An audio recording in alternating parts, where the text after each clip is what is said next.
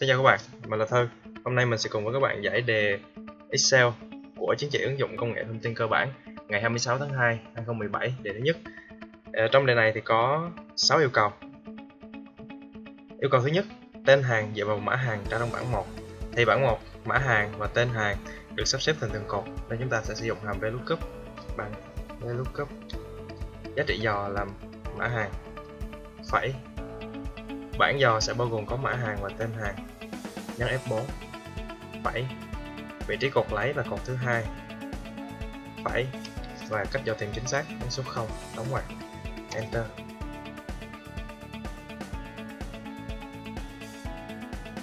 Yêu cầu thứ hai, đơn giá dựa vào mã hàng ra trong bảng 1.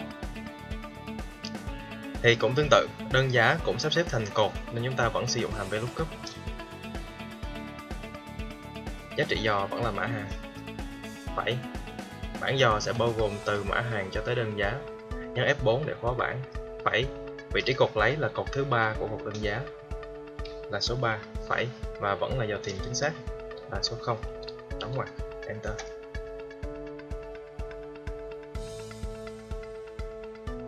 Yêu cầu thứ ba. Trị giá bằng số lượng nhân đơn giá, nhân do tỷ giá biết rằng tỷ giá dựa vào mã nước ra trong bảng 2 thì như các bạn thấy, mã nước và tỷ giá ở trong bảng 2 này nó sắp xếp thành từng hàng. Nên chúng ta sẽ sử dụng hàm HLOOKUP trong câu này. Đầu tiên, trị giá bằng số lượng nhân đơn giá.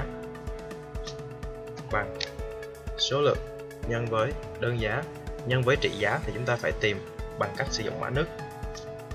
Chúng ta sử dụng hàm HLOOKUP giá trị dò chúng ta sẽ lấy mã nước phẩy bảng dò thì chúng ta sẽ bôi từ mã nước cho tới tỷ giá. Nhấn F4 để khóa bảng. Phẩy, vị trí hàng lấy, thì chúng ta lấy tỷ giá, tức là chúng ta lấy dòng thứ ba này. Chúng ta nhập số 3 phẩy và dò tìm chính xác nên chúng ta nhập số 0 đóng ngoặc. Enter.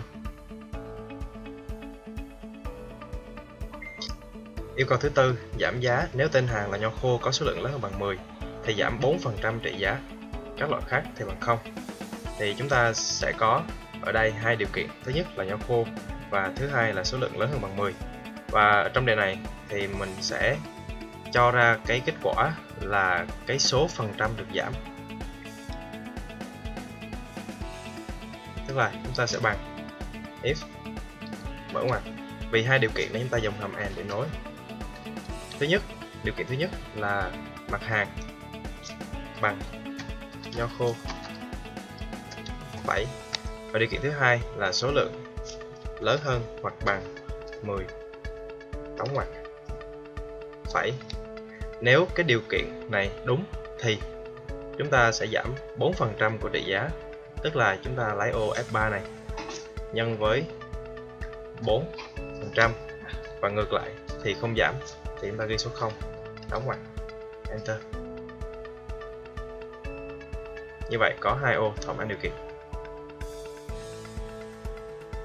yêu cầu thứ năm, ghi chú. Nếu là sản phẩm rượu vang và bán từ ngày 22 đến cuối tháng thì ghi là tặng trà Lipton chúng ta cũng có hai điều kiện, là rượu vang và bán từ ngày 22 tháng 1 nó sẽ bằng.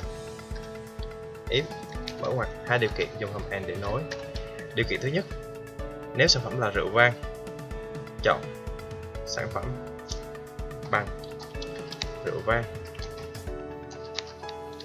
Phải. Điều kiện thứ hai là ngày bán từ ngày 22 thì lớn hơn bằng 22. Đóng ngoặc. Phải. Nếu cái điều kiện này đúng thì chúng ta sẽ ghi là tặng trà Lipton.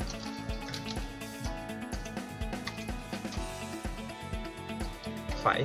Nếu sai thì để trống bằng hai dấu nhấn kép liên tục đóng ngoặc enter như vậy là chỉ có một mã hàng được tặng ra Python và yêu cầu cuối cùng là lập bảng thống kê tổng số lượng. Ở đây chúng ta thống kê tổng số lượng, nên chúng ta sẽ sử dụng hàm sumif vì nó chỉ có một điều kiện. Yếu tố đầu tiên là vùng chứa cái mã hàng này, thì chúng ta sẽ bôi cái cột mã hàng nhấn F4 phải thứ hai là điều kiện, thì chúng ta click thẳng vào mã hàng.